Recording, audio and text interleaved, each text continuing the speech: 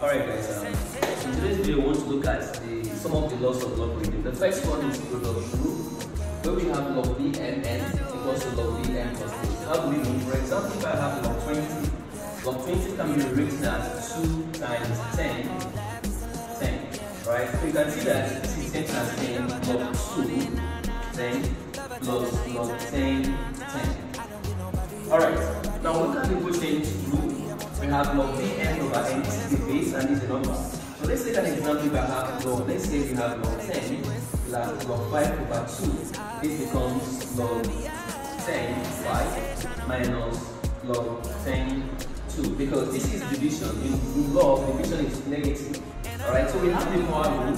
If I have log 10, 10 raised to the power 2, so this is something as saying 2 log 10, 10 right?